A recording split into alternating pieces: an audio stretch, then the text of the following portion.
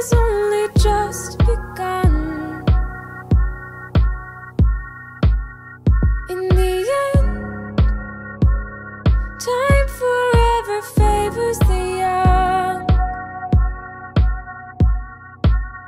and we this has only just begun. In the end time forever favors the.